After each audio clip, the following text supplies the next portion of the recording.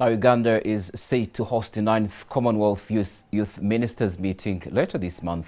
The first uh, five-day meeting is expected to bring together at least 500 guests, including 52 youth ministers from the Commonwealth member countries, youth leaders, senior government officials, and observers. The meeting is aimed at sharing good experiences among member countries, discussing youth programming and their role in development, from bilateral relations and democracy.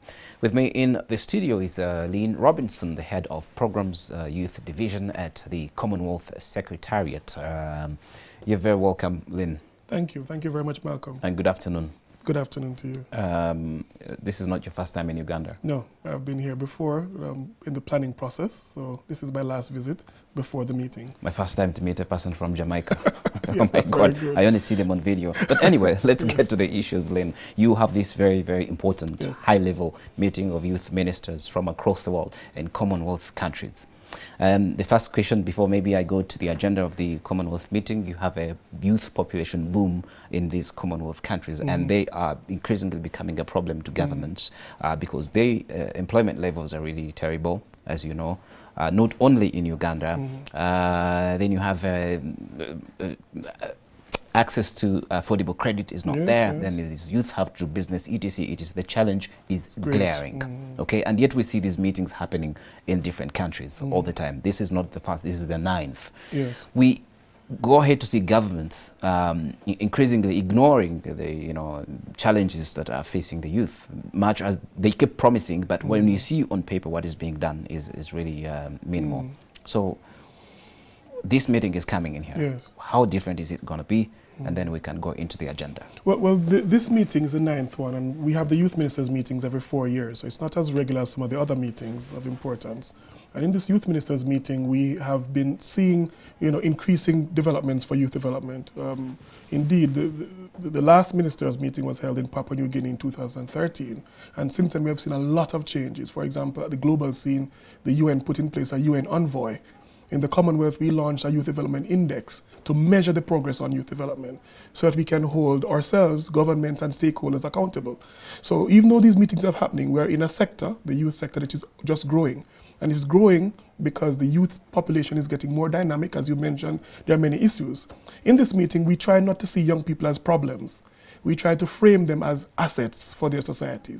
So in this meeting, we'll be examining how can we harness the potential of the young people resident in the country. So in Uganda, which has probably about 70% of the people under 30, young people under 30, um, our challenge in this meeting is to challenge our governments and ourselves in the Commonwealth on how do we harness the potential inherent in these young people. Mm.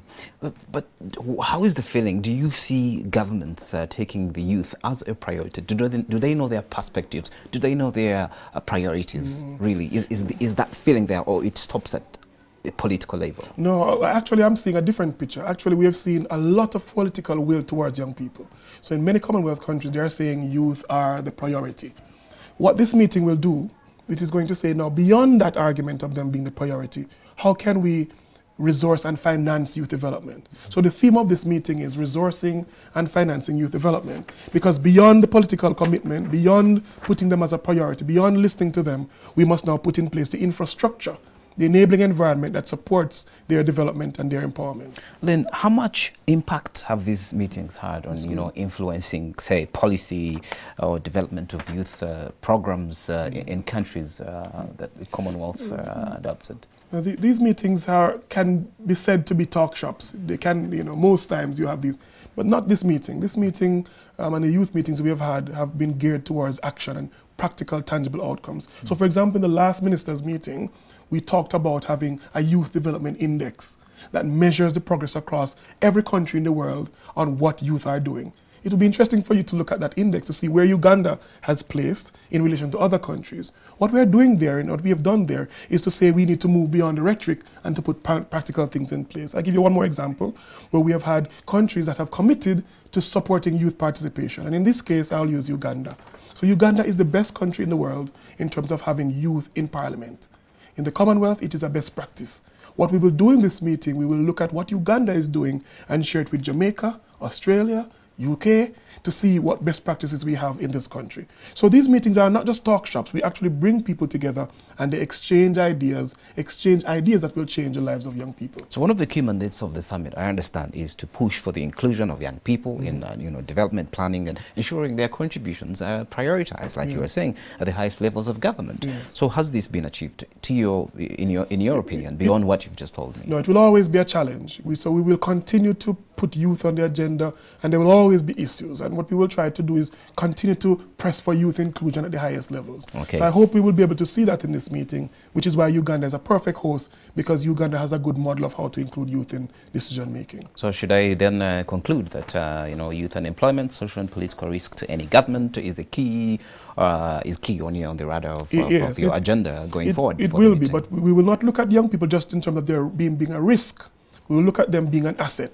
And therefore, if they're an asset, and, and how we support them to, to bring out their potential, we will see the, the positive coming out to support our countries. Because young people, if they are worked with right, in the right context, will actually make a big difference for national development and to achieve the sustainable development goals. That is our aim for this meeting, that the youth will be seen as a priority and we will harness their potential for national development. Thank you, Layne Robinson, uh, for visiting NTV uh, to talk to us about the Commonwealth uh, Youth Ministers meeting that will be uh, on the 31st uh, July, July to the 4th, and it will be the 9th. Uh, we'll be looking forward to uh, listening uh, yeah. to the ministers and what they have to say in as far as contributing to the development of youth in Africa, Commonwealth countries is concerned. We are going to take a short break. We'll be back with more stories making headlines today here on NTV at 1.